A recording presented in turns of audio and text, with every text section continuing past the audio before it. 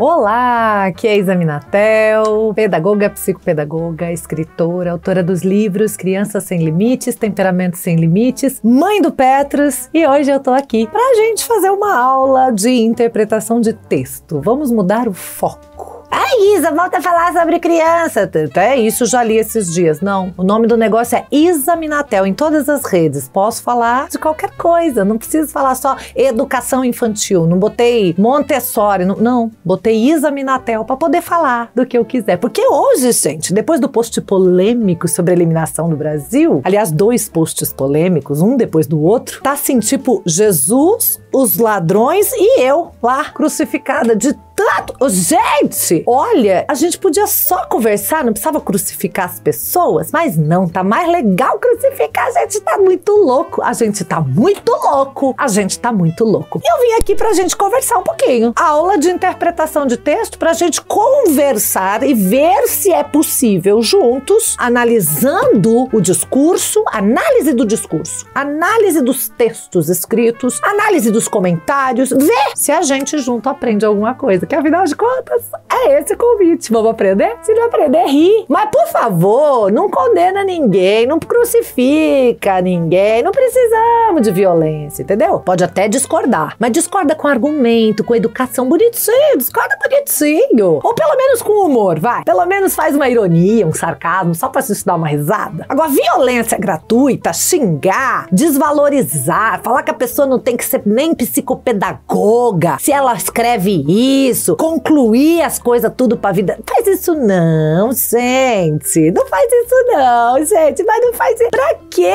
gente? Não faz isso não, gente. Que as pessoas, depois as pessoas estão com boa intenção, compartilhando algumas coisinhas na cabeça delas só, gente. Você viu pra você? Não pega pra você. Aqui. É uma boa, não é? Hã? Não serviu pra você? Não pega pra você, gente. Vai ver, não era pra você. Não é. Tá seu nome lá? Não tá, chuchu. Não tá. Mas tá bom. Vamos pro negócio. Tudo começou com este post. Eu printei uma conversa do meu WhatsApp. Kaique, bota aqui para nós. Deixa eu aqui apontando, não. Bota aqui, Kaique, para nós a conversa. A conversa foi o seguinte: depois da fatídica eliminação do Brasil na Copa, perdendo nos pênaltis para Croácia, a minha amiga me manda: Amiga do céu, não aguento, fico triste, mas não entendo tanta gente. Help me. Bom, quando eu printo esta parte da conversa, eu estou contextualizando vamos para nossa aula de interpretação de texto, né? De quem nós estamos falando. Ela disse: Fico triste, mas eu não aguento tanta gente muito nervosa, muito irritada, muito explodindo. Então nós estamos falando de quem fica triste? Não! Ouviu ou preciso falar de novo? Nós estamos falando de quem ficou triste? Não! Nós estamos falando de quem ficou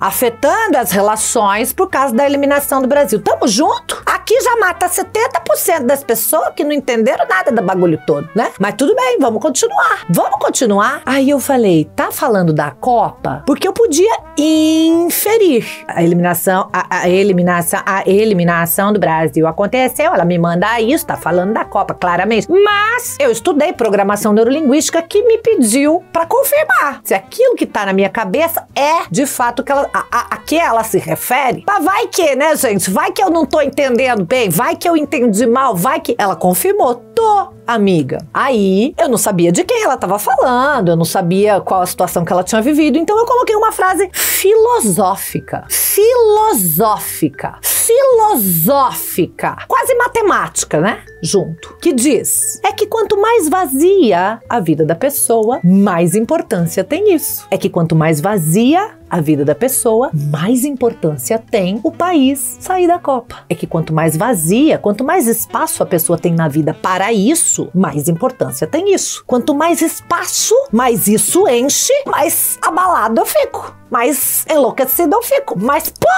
eu fico. É uma opinião filosófica. A gente reflexionar, refletir, reflexionar.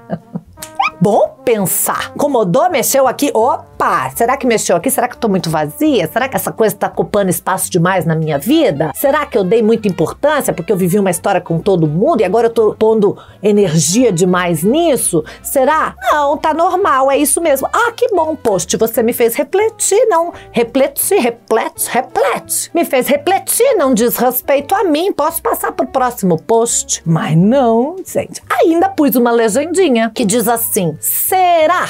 Diz. Também disse assim, quem concorda? Também disse assim, quem discorda? Também disse assim, aberto o debate, porque a ideia era discutir. Isa, concordo, por isso, por isso, por isso. Isa, ah, discordo, por isso, por isso, por isso, não é? Ainda falei, vale mimimi também, pra alguém falar, ah, Isa, né, no dia da eliminação, não fala assim não, gente, não, não, gente. Enfim, abrimos a conversa. Ah, minha gente, gente, aqui, tamo junto. Tamo entendendo de quem estava sendo falado. É da pessoa que ficou triste comum? Não é, gente. É da pessoa que ficou peta. Se essa pessoa ficou peta, ela tá causando nas relações próximas por causa da eliminação do Brasil da Copa. Desta pessoa, dissemos: quanto mais vazia a vida da pessoa, mais importância tem isso.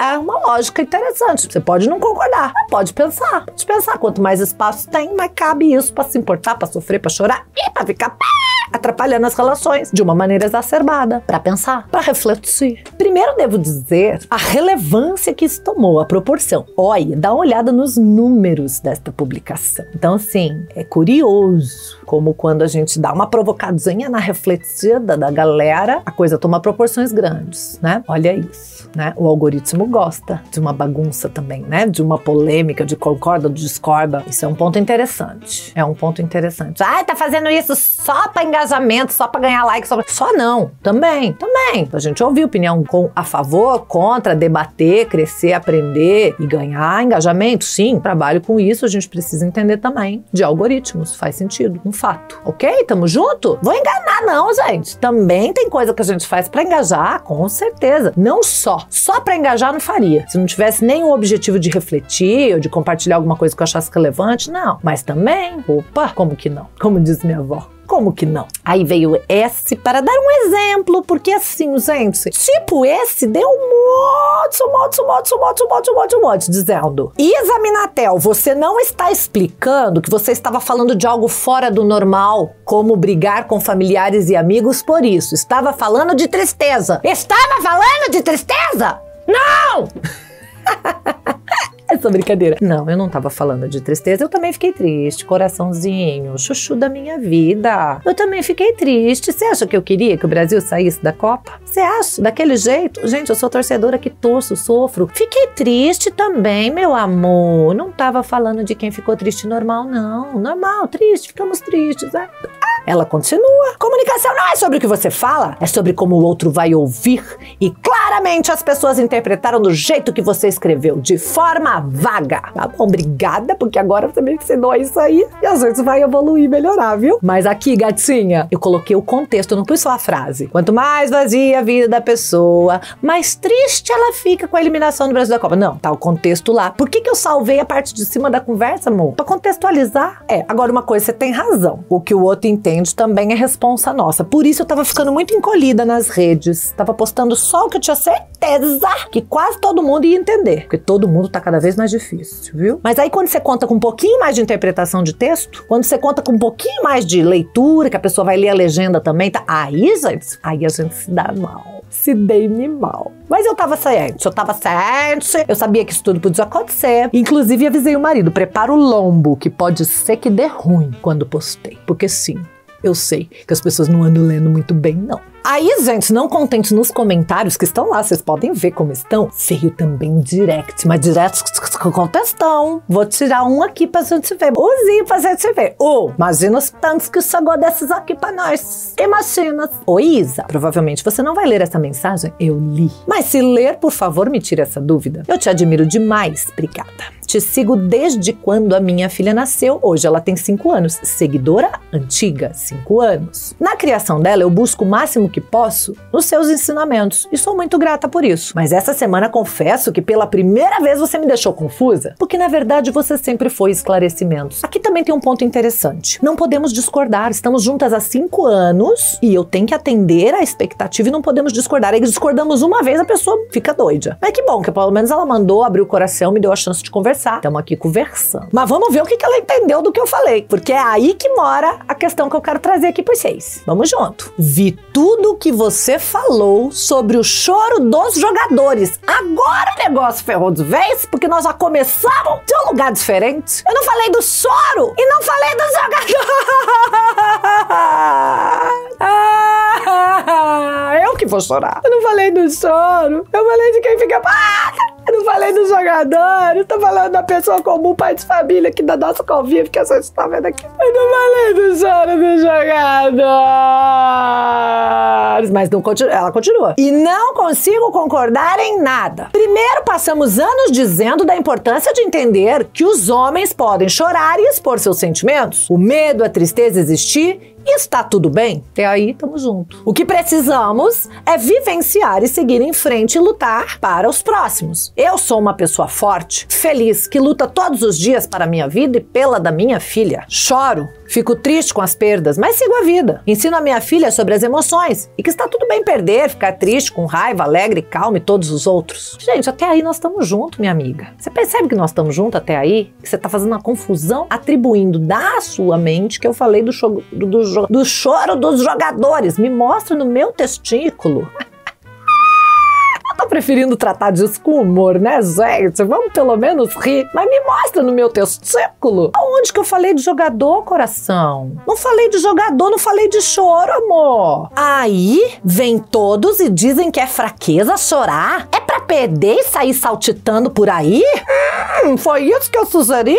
Não. E inicia uma batalha contra a tristeza e fraqueza no momento da tristeza dos jogadores que perderam aquilo que lutaram durante quatro anos. Ninguém falou disso, amor. Pelo menos eu não, né? Não sei os outros. Aqui não. Como se eles não tivessem o direito de ficarem tristes, fracos no momento da derrota e depois, vida que segue, e voltar à luta. E aí você também fala do assunto da mesma forma? Ai, Isa Minatel, a caixinha que eu te coloquei não comporta isso. Até porque não foi isso, né? Mas tem a caixinha que vocês me colocam também. Pensa nisso, viu? Porque às vezes eu não tô cabendo nessa caixinha que vocês me colocaram na cabeça de vocês. Então, me tira uma dúvida. É isso mesmo? Não pode ficar triste, frustrado, tem que se esconder para chorar? Examinatel está sugerindo sobre isso? É isso? Seria isso? Que bom que ela perguntou no direct, né? Na intimidade de uma seguidora de 5 anos, que belezinha. Eu agradeço por me preservar. Inclusive, tô também não pondo o nome dela aqui por causa disso, né? Nós vamos conversar sobre o que ela falou, mas preservando a identidade, porque a gente se respeita né? E ela continua: perdeu e agora vamos sorrir como se nada tivesse acontecendo? O choro é só fraquezas. Não se pode ficar triste. É proibido a frustração, a tristeza. Todo mundo é feliz o tempo todo. Até no momento da derrota que batalhou durante quatro anos. Mas seguidora antiga também solta o verbo e manda no final: desculpa. Achei horrível a falta de empatia com a tristeza dos jogadores. E esses discursos que um grupo está fazendo por aí confundiu foi tudo. Ah,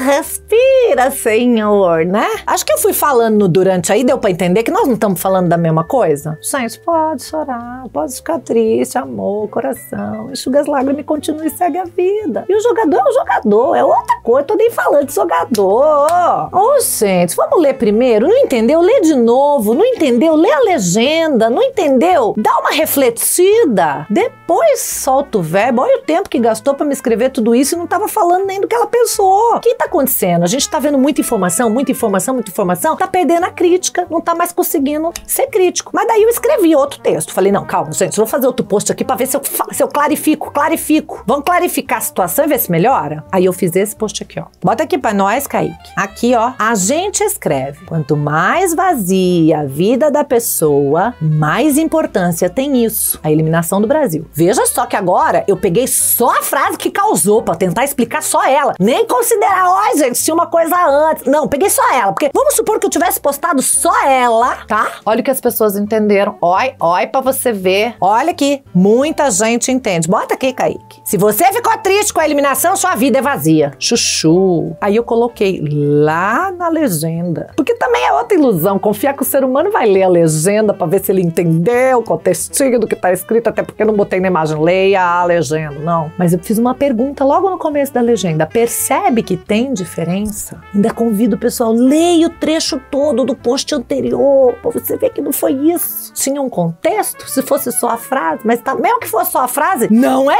isso. Ainda que fosse só a frase, não era isso. Vamos aos comentários desta. Aqui. Você super defende os sentimentos das crianças, mas e os sentimentos da criança crescida, adulto? Um pedido de desculpas acho que seria melhor e a vida que segue. Vou pedir desculpa porque eu convidei adultos a refletirem sobre o tamanho que as coisas ocupam dentro deles? Não. Desculpa se eu não postar isso e você continuar não refletindo sobre o tamanho que as coisas ocupam dentro da sua cabeça, da sua vida, do seu coração, das suas emoções. Aí você vai ter que me desculpar, porque eu me proponho a fazer isso. Então não me peço desculpa, não venha aqui pedir desculpa, não venha me retratar. Não! Não, não, não, não, não, ok? A gente tem que pensar mesmo. Adulto não é igual criança. Adulto não tem que ser, ai, vem cá, pode ficar bravão e estrupiar as relações, porque eu sei que você gosta muito de futebol. Não, não, não. Hello, bom dia. Adulto cresceu, você tem que dar conta da sua vida agora. Você não acha que tá ocupando espaço demais da sua vida que isso aí, não? Pra ficar assim, estrupiando as relações por causa de todo mundo, por causa de futebol que perdeu. Que... Eu, hein? Ô, oh, peraí. Aqui, outro, ó. Ó, ó, ó. Não tem diferença, não. As pessoas têm direito de ficarem tristes pelo que quiserem. Ninguém deve menosprezar a dor da outra. E o grau de importância, paixão que ela coloca nas coisas. Menosprezar não, convidar pra reflexão, gente. E outra, em momento nenhum você fala de excesso. Se queria engajamento, consegui? Oh, Jesus! Oh, carinho, oh, carinho, com carinho, com carinho. É só o Fentro que é com carinho. Comentário não, né, gente? Comenta com carinho também, gente. Não é isso. Já disse que não é. Não. Tem diferença sim, amor. Vamos estudar o textinho. Vamos estudar o textinho. A outra diz, com alguém ainda, concordo. Concordo, está se achando superior. Ao ridicularizar a intensidade da emoção alheia referente a eventos, fala tanto de respeito a individualidades montessoriana incoerência. Hum, veja só. Gente, da onde que tá ridicularizando, gente? Vamos conversar, gente. Quanto mais vazio tem dentro, mais importância tem isso. Qual que é isso? Inclusive, você pode colocar outras coisas no lugar. Aqui eu tô colocando futebol, você pode pôr política, você pode pôr religião. E quanto mais vazio, mais fanático, mais violento para criticar os outros, que é ponto vazio, que acontece aí na vida de todo mundo, de algumas pessoas mais intensamente. Tamo junto? Vamos lá? Não, não estamos juntos? Critica esse aqui também, dá engajamento, compartilha, fala mal, sei lá. Aqui, a S, que é aquela que tava conversando com a outra do anterior. Exatamente. Não sou psicóloga nem nada do tipo, mas aprendi a respeitar o sentimento das pessoas. Cada um sente de um jeito e com uma intensidade diferente. Ridículo, porque ela respeita o sentimento das pessoas, ela comenta assim no meu post. Ridículo dizer que é excesso ficar triste porque a seleção Brasil foi derrotada. Eu estou bem triste. Queria muito essa conquista de alegria pro país e ainda não superei. Imagine os jogadores! Aí, caixa alta, porque a gente gosta de respeitar, já mete uma caixa alta, já com os dois pés no peito da pessoa que eu não concordo. Gente insensível, essas que acham que é excesso ficar triste por isso. Você percebe que uma própria pessoa é desrespeitosa pregando o respeito. Oh, gente, para que fazer isso, coração? E tudo seria resolvido só com uma leitura e interpretaçãozinha de texto? Mas, sabe esse livro aqui, ó? Bota aqui, Caiquinho. Fábrica de Cretinos Digitais. Tá mostrando que com tanta internet na vida, com tanta tela, nós estamos ficando burro. Nós estamos emburrecendo. E nós estamos vendo a primeira geração com um QI menor do que a geração anterior. Então, cuidado, porque os filhos também estão emburrecendo, viu? Toma cuidado. Ô, gente, vamos parar pra pensar. Eu tinha um professor maravilhoso, na lá no Nobel em Maringá. Ele falava assim: vamos pensar Homo sapiens. Homo sapiens, homo pensante, homem que pensa, que sabe, sabedoria, sapiens. Vamos pensar Homo sapiens.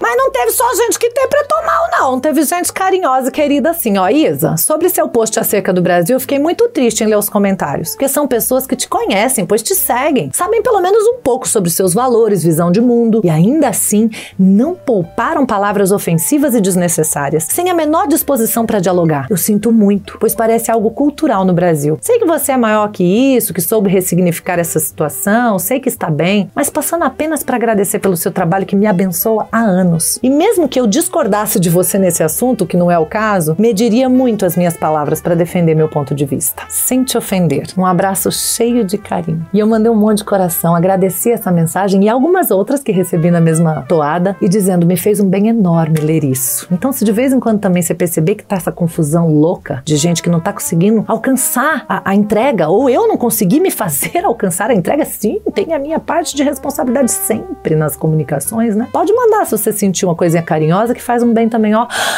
Ui, alivia o coração de falar, gente, alguém me entende, alguém conhece meu coração, alguém sabe da minha intenção verdadeira, alguém sabe do quanto eu estou disposta a trazer reflexão para esse Brasil, para esse povo, para ver se a gente pensa homo sapiens, para ver se a gente cresce com alguma coisa. Então, gratidão aos que de alguma forma manifestaram a sua solidariedade. Mas eu tava sabendo que eu tava mexendo num vespeiro aí, contando com a interpretação, com as leituras de legenda e que tá fraco ultimamente. Eu espero que isso tenha ajudado tanto a esclarecer quanto principalmente a crescer, porque esse é o objetivo. Qual tamanho dentro de mim eu estou dando para as coisas na minha vida? Qual o tamanho do meu coração, da minha mente, das minhas emoções? Que dimensão essas coisas como futebol, eliminação do Brasil da Copa estão tomando na minha vida? É bom pensar. É bom refletir, é bom avaliar. E assim a gente vai ser muito mais feliz, viu? Se a gente puder conversar sobre as nossas emoções, sobre os nossos sentimentos, sobre a dimensão que a gente dá. E falando nisso, quando eu vou educar uma criança, está no pacote a educação emocional. E como eu venho do autoritarismo, né? Nosso país vem do autoritarismo. Antes era engole o choro. Agora sabe o que nós estamos fazendo? Caindo no extremo oposto. Pode chorar, meu filho. Aí a criança machucou um pouquinho o joelhinho. Pode chorar, meu filho. Ah! Ele amplia, ele aumenta, ele intensifica um choro que poderia ser simples, pouco pequeno, proporcional ao evento. Eu estou criando emoções exacerbadas, exageradas, descontroladas, desmedidas, desproporcionais aos fatos, o que também não é bom. Engolir o choro não é bom. Chorar mais do que o necessário para um evento também não é bom. Isa, mas mais do que necessário é subjetivo, depende de cada um. Sim, mas tem uma faixa de normalidade. E é dentro dessa faixa de normalidade que a gente precisa buscar estar, estudar para saber estar e conduzir que a criança fique também. É sério isso, tá, gente? É por isso que tem tanta gente olhando e falando é mimimi. Passou da normalidade também. Tem coisa que ainda não era. E as pessoas estão dizendo que é mimimi porque elas são, né, autoritárias, foram caladas. Tem um tanto de coisa aí que é uma subjetividade grande. Mas pensa nisso. Beijo. Me liga. Comenta, compartilha, curte, se inscreva no canal. Estamos chegando aí nos 150 mil. Esse tipo de conteúdo podia também viralizar e dar ibope igual a farofa da GK. Mas, gente, se eu tenho um mundo que dá ibope pra farofa da GK, como é que eu quero viralizar com isso? Mas eu vou. Fé em Deus, Cortella também é top, né? Viraliza Cortella, viralizarei eu um dia, quem sabe. Beijo, me liga, tchau.